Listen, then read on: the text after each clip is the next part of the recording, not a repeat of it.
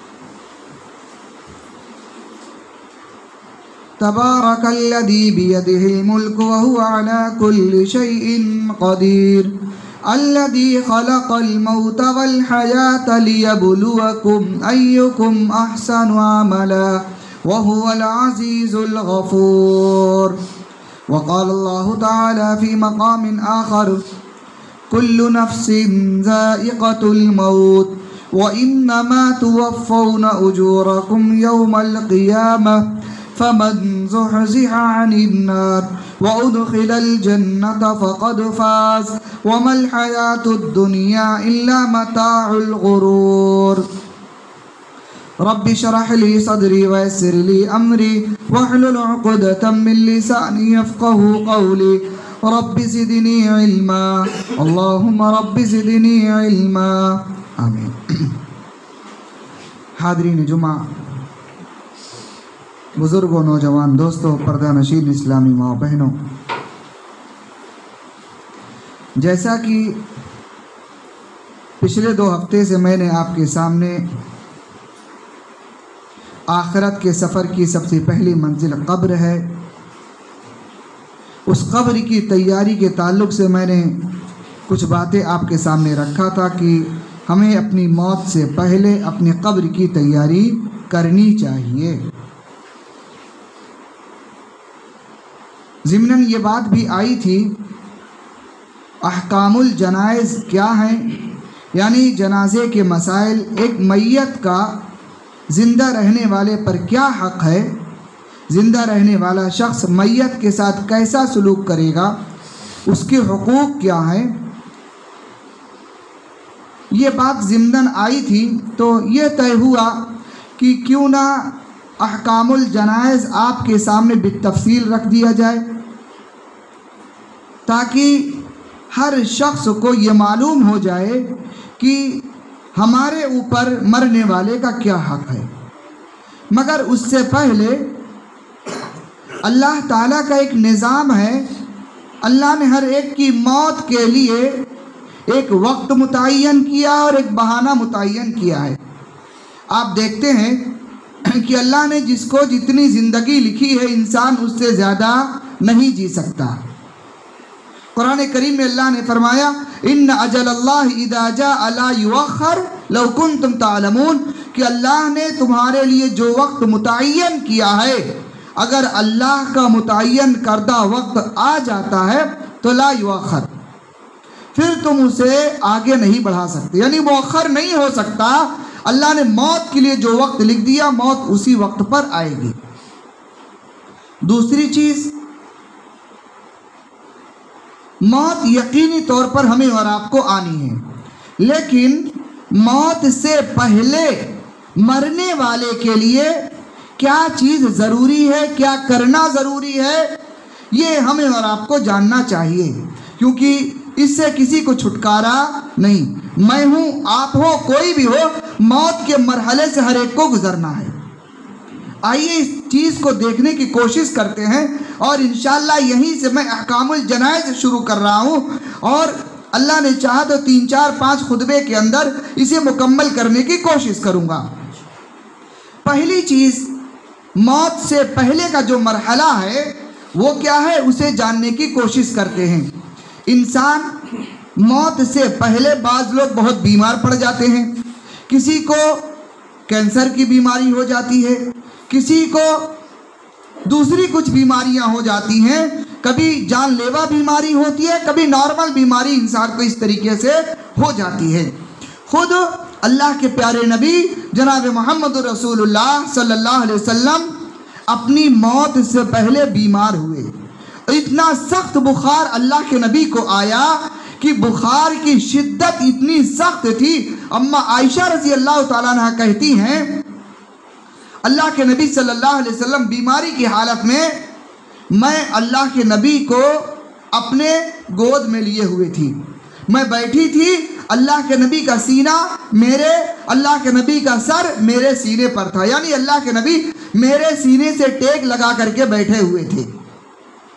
बीमारी की हालत में इंसान को इतनी ताकत नहीं होती है कि अपने दम पर वो बैठ सके।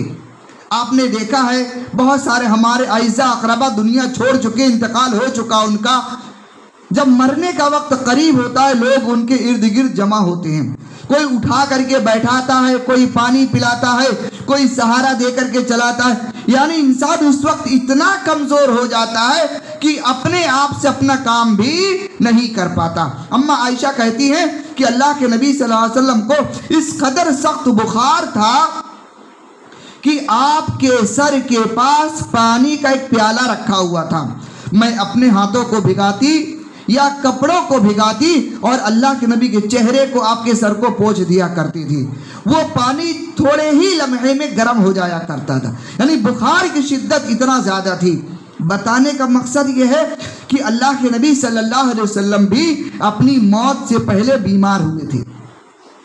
और इससे पहले अल्लाह के नबी सल्लल्लाहु अलैहि वसल्लम जन्नतुल बकी तशरीफ़ ले गए थे, जो सहाबा इकराम दुनिया से रुखसत हो चुके थे, जिनका इंतकाल हो चुका था, अल्लाह के नबी सल्लल्लाहु अलैहि वसल्लम उनके लिए दुआ करने गए थे। वापस लौट करके घर आए तो क्या देखा, अम्मा आयशा रज़ी अल्लाह तला घर में बैठी रो रही हैं। अल्लाह के नबी ने पूछा, आयशा, क्या हुआ? कहा, अल्लाह के नबी दर्द की वजह से मेरा सर फटा जा रहा है। यानी सर में इतना शदीद दर्द है, मुझे ऐसा लग रहा है कि इस दर्द की वजह से मेरा सर फट जाएगा। अल्लाह के नबी सल्लल्लाहु अलैहि वसल्लम ने कहा, आयशा, अगर तुम्हारा इंतकाल मुझसे पहले हो गया, तुम्हारी मौत हो गई तो मैं अपने हाथों से तुम्हें गुस्ल दूँगा कफन पहनाऊँगा, तुम्हारी जनाजे की नमाज़ पढ़ूँगा और तुम्हें कब्र के अंदर दफन करूँगा। एक चीज़ यहाँ पर यह बताना चाहता हूँ कि इंसान बीमारी से पहले, मौत से पहले बीमार होता। हज़रत आयशा रज़ी अल्लाह तला इस कदर शरीर बीमार थी कि अल्लाह के नबी ने यह कहा कि अगर तुम्हारा इंतकाल हो गया इस बीमारी में, यानी मालूम यह हुआ कि इंसान अपनी मौत से पहले शरीर बीमारी के अंदर मुब्तला हो सकता है। अल्लाह के नबी भी बीमार हुए। बहर कैफ। जब बीमारी की शिद्दत किसी पर सख्त हो जाए और इंसान को ऐसा लगे कि इस बीमारी के अंदर मेरी मौत हो जाएगी, या बाज़ दफ़ा ऐसा भी होता है कि बीमारी इतनी सख्त होती है, इंसान बाज़ लोग ऐसे भी होते हैं जो जब बीमारी सख्त हो जाती है और शिद्दत बढ़ जाती है बीमारी की उस वक्त इंसान की जबान से अच्छे अल्फाज निकलने के बजाय गलत अल्फाज निकलने लगते हैं। बाज लोग जब सख्त बीमारी के अंदर मुब्तला होते तो कहते, इससे अच्छा था कि मर जाता, छुटकारा मिल जाता। यानी बीमारी इस कदर शदीद होती है, इंसान ये कहता है कि बीमारी में पड़े रहने से अच्छा कि मर जाओ तो मेरे लिए बेहतर होता। यहाँ पर मैं आपको एक हदीस बताना चाहता हूँ। बीमारी कितनी भी सख्त हो, उस बीमारी में इंतकाल हो या ना हो, लेकिन इंसान जब बीमारी ज़्यादा हावी हो जाए तो मर्द हो या औरत, अल्लाह के नबी सल्लल्लाहु अलैहि वसल्लम ने उसे एक दुआ सिखाया है। वो दुआ मैं आपको बताना चाहता हूँ, और ये दुआ हम में से हर मुसलमान, मर्द, औरत, बच्चों को भी याद होनी चाहिए। अल्लाह के नबी सल्लल्लाहु अलैहि वसल्लम ने फरमाया कि अगर बीमारी सख्त हो जाए और इंसान बीमारी के अंदर शदीद मुब्तला हो जाए तो उसे अल्लाह ताला से ये दुआ करनी चाहिए। क्या कहना चाहिए? अल्लाहनी माकान तिल हयात खैरली व तवफ़नी इदा कान तिल वफ़ात खैरली ये हदीस सही बुखारी के अंदर, सही मुस्लिम के अंदर भी मौजूद है। इस हदीस का या इस दुआ का तर्जुमा क्या है? अल्लाह के नबी सल्लल्लाहु अलैहि वसल्लम ने क्या फरमाया? कि अल्लाहनी अल्लाहनी माकानतिल हयात खैरली अय अल्लाह, मेरे लिए जब तक ज़िंदगी बेहतर है तो मुझे ज़िंदा रख। इसके अंदर अल्लाह के रबी ने क्या सिखाया? कि बंदे को अल्लाह ताला से इस तरह दुआ करनी चाहिए। ये नहीं कहना चाहिए कि इससे अच्छा था मैं मर जाता। ये कहना गोया कि अपनी मौत से भागने का एक रास्ता है। यह अल्लाह ताला की नाशुक्री बंदा कर रहा है। बीमारी भी अल्लाह ही की तरफ़ से आई है ना? अल्लाह चाहेगा तो आप ठीक हो जाओगे, शिफा मिल जाएगी। और अगर अल्लाह ने उस बीमारी के अंदर मौत लिख रखा है, ये दुआ पढ़ोगे इन ये दुआ हमारे लिए बाईस रहमत साबित होगी। तो अल्लाह के नबी ने फरमाया, ये दुआ पढ़ो अल्लाह अल्लाह मुझे उस वक्त तक ज़िंदा रख जब तक ज़िंदा रहना मेरे लिए बेहतर हो उसके बाद व तवफ़नी मा इदा कानतिल वफ़ात खैरली और अल्लाह तू मुझे मौत दे जब मेरे लिए मौत बेहतर हो दोनों चीज़ें आ गई अगर ज़िंदगी बेहतर है तो अल्लाह ज़िंदगी अता कर दे। और अगर मौत बेहतर है तो अल्लाह तो मुझे उस वक्त मौत दे। जब मेरे लिए बेहतर हो मरना, तब मेरे, तब मुझे मौत दे। इससे एक बात यह भी मालूम हुई, जब बंदा ये कहता है कि अल्लाह मेरे लिए जब मरना बेहतर हो, मौत दे मतलब यह है कि अल्लाह, जब तू मुझसे राज़ी हो, मेरे गुनाह बख्श दिया हो, मुझे माफ़ कर दिया हो, उस वक्त तू मुझे मौत देना। ये दुआ अल्लाह के नबी वसल्लम ने साहबा को सिखाया कि अल्लाह ताला से ऐसे दुआ करो। क्यों? इससे पहले एक वाकया गुजर चुका था। अल्लाह के नबी सल्लल्लाहु अलैहि वसल्लम के दौर में एक सहाबी ऐसे भी थे, जंग में गए, उनको जख्म लगा था और जख्म की शिद्दत बढ़ती गई। आखिर में उन्होंने खुदकशी कर लिया। खुदकशी कर लिया। सहाबा ने अल्लाह के नबी से बताया उनके वाकयात को। अल्लाह के नबी ने फरमाया, खुदकशी करने की वजह से वो जहन्नम में चले गए। तो याद रखिएगा, ये हदीस, ये दुआ याद कीजिए और जब बीमारी सख्त हो जाए, ये दुआ पढ़िए इन ज़िंदगी बची होगी, अल्लाह ज़िंदगी अता करेगा और अगर ज़िंदगी नहीं होगी तो अल्लाह बेहतर मौत अता करेगा। ऐसी मौत अदा करेगा जिसमें अल्लाह अपने बंदे से राज़ी होगा। तो अब यहाँ से एक बात और शुरू होती है। ज़िंदगी खत्म हो गई, मौत आ गई अब मौत के बाद क्या करना चाहिए? लेकिन हो सकता है कि ज़िंदगी बच जाए। ये दुआ पढ़ने के बाद अब अगर ज़िंदगी बची रह गई है और इंसान बीमारी के अंदर मुब्तला है अभी मौत नहीं आई है तो उससे पहले अल्लाह के नबी सल्लल्लाहु अलैहि वसल्लम ने उस सख्त बीमारी के अंदर मुब्तला शख्स को कुछ आ, कुछ नसीहत कुछ वसीयत अल्लाह के नबी ने किया कि मौत से पहले ये ये काम करने चाहिए। नंबर एक, पहली चीज़ जो आती है, इस दुआ को पढ़ने के बाद अगर बीमारी है और मौत नहीं आई, इंसान बच गया तो अल्लाह के नबी सल्लल्लाहु अलैहि वसल्लम फरमाते हैं कि याद रखो, हो सकता है उस बीमार मुसलमान पर कुछ लोगों के हकूक वाजिब हों। कुछ लोगों का हक अदा करना उसके ऊपर वाजिब हो। इंसान अभी बचा है, मौत नहीं आई तो कोशिश ये करे, अपनी मौत से पहले उन हुकूक को अदा कर दे। हक क्या हो सकता है?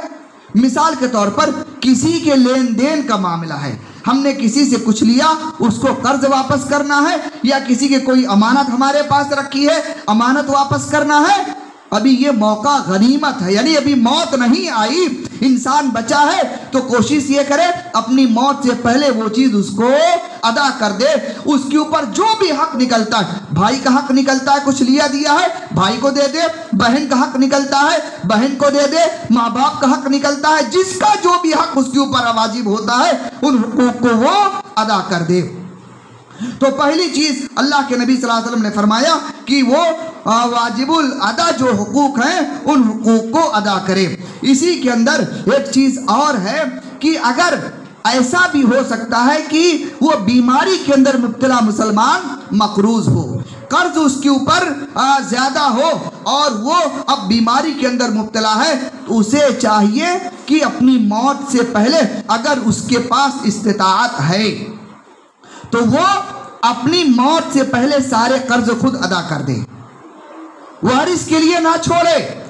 आज हमारे समाज में ये होता है, लोग दूसरों का लेकर के बैठ जाते हैं और खूब दुनिया बनाते हैं। और जब मौत का वक्त आता है, जब देने की भी बारी आती है, इंसान उसको भूल जाता है वसीयत करना या उसको अदा करना और इसी हालत में दुनिया छोड़ देता है। अल्लाह के नबी सल्लल्लाहु अलैहि वसल्लम ने फरमाया कि ऐसा नहीं करना चाहिए। नंबर दो दूसरे नंबर पर यह है कि मौत से पहले अभी मौत नहीं आई है तो उसे कुछ वसीयत करना है तो वो वसीयत कर सकता है।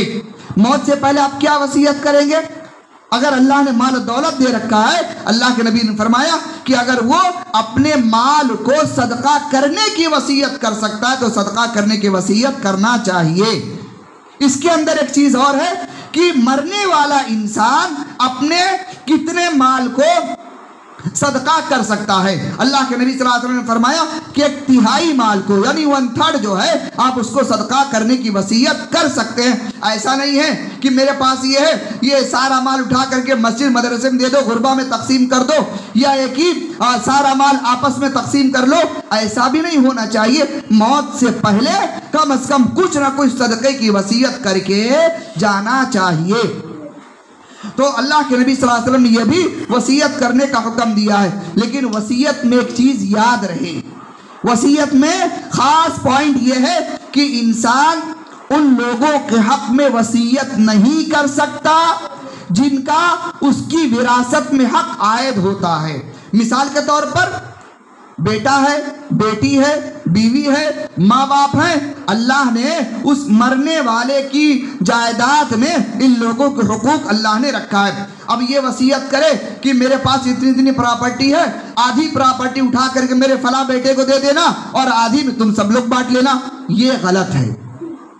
याद रखिएगा, अल्लाह के नबी ने फरमाया कि जिसका हक अल्लाह ने खुद मुतन कर दिया कुरान करीम उठाइए। अल्लाह ताला फरमाता है औलादिकुम मिस्लु हज्जिल उनसयैन अल्लाह ने बेटा और बेटी का हक यहाँ पर मुतयन कर दिया।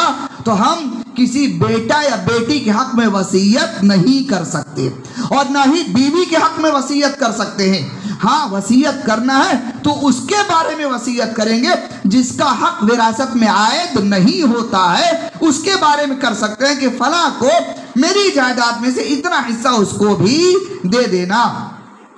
तो ये चीज़ करने का हुक्म दिया है। और इसी तरीके से वसीयत में एक चीज़ ये भी है बसा औकात ज़िंदगी में बाप बेटे के ताल्लुकात अच्छे नहीं रहे।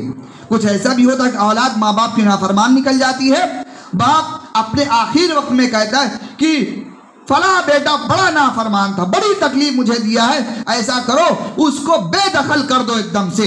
हम उसको अपनी जायदाद में कोई हिस्सा नहीं देंगे।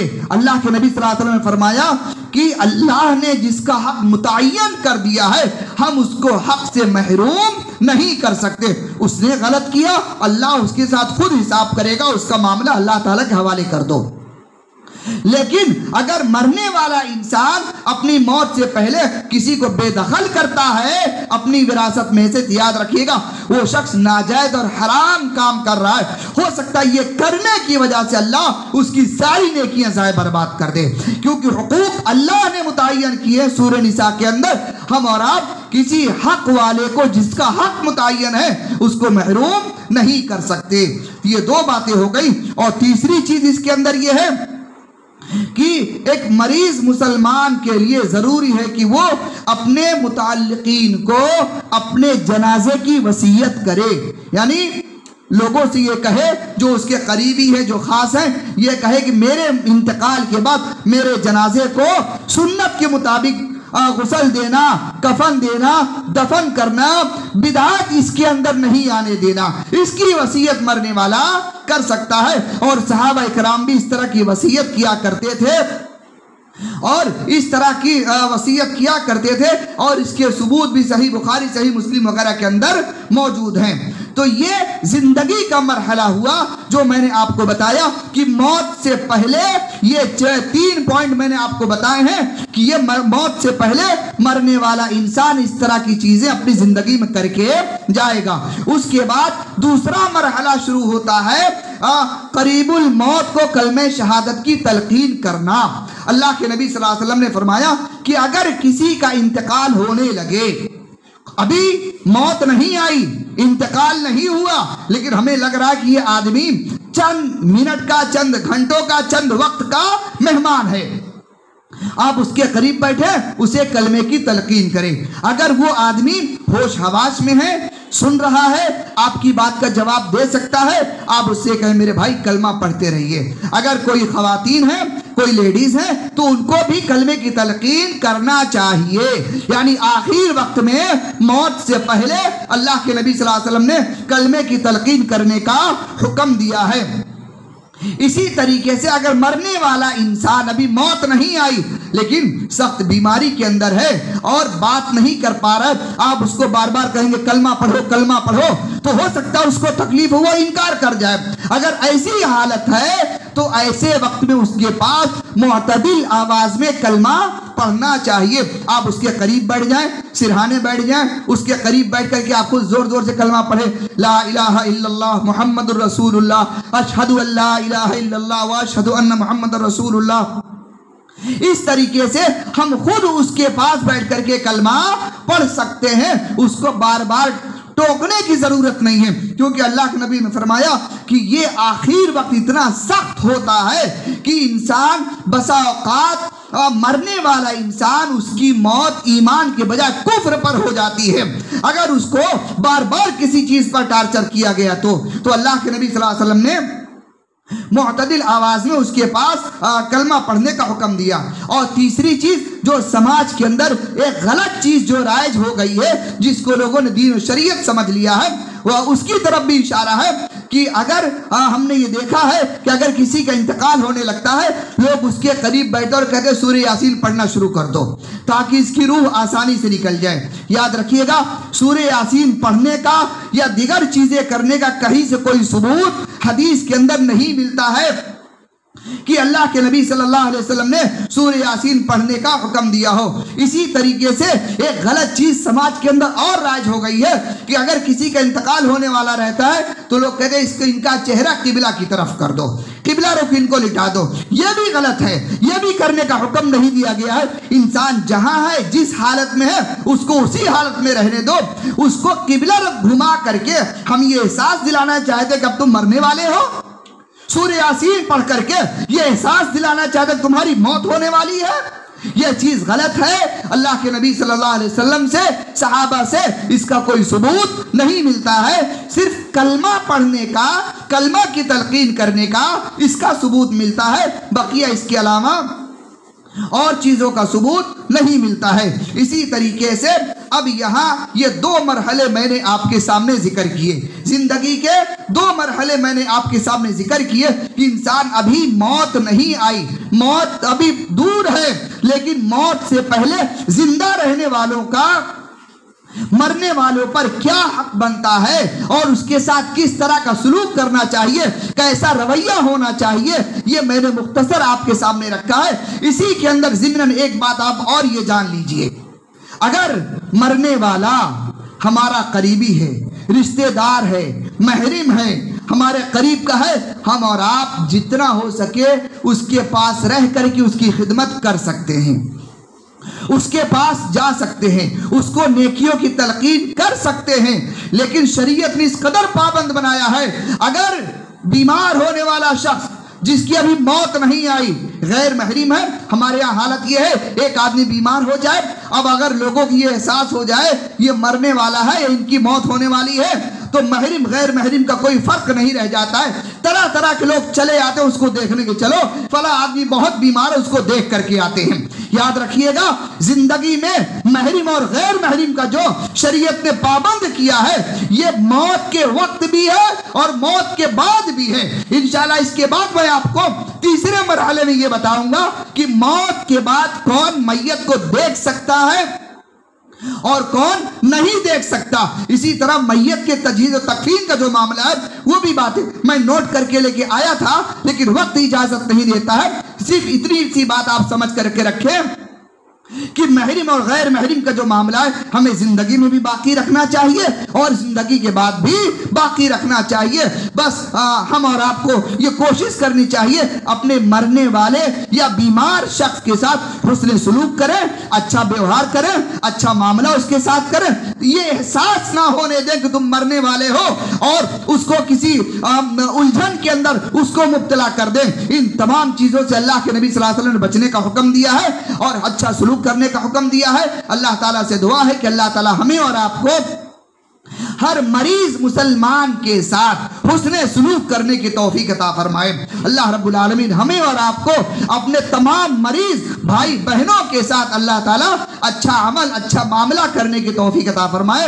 अल्लाह रब्बुल आलमीन हमें और आपको इस दुनिया के अंदर जब तक रखे, ईमान की हालत में रखे, खात्मा हो, ईमान की हालत पर हो जबान पर कल में शहादत जारी हो। रब्बुल आलमीन, हम में जो लोग बीमार हैं, अल्लाह तो उन्हें सेहत व तंदुरुस्ती अता फरमा और हर एक परेशान हाल की परेशानियों को दूर कर दे। रब्बुल आलमीन, जो हमारे दरमियान नहीं है, जिनका इंतकाल हो चुका है परवरदिगार तो उनकी मगफरत फरमा दे, उनके दर्जात को बुलंद कर दे, जन्नतुल में आला मकाम अता फरमा दे। हमें जब तक दुनिया के अंदर ज़िंदा रखना, ईमान की हालत पर बाकी रखना, खात्मा हो, ईमान पर हो जबान पर कल में शहादत जारी हो। आमीन तकबल या रब्बल आलमीन, व आखिर दावाना अन हम्दुलिल्लाहि रब्बिल आलमीन। अकूल कौली हादा, व अस्तगफिरुल्लाह ली व लकुम व लिसाइरिल मुस्लिमीन। वस्तगफिरूह, इन्नहू वल गफूरुर रहीम।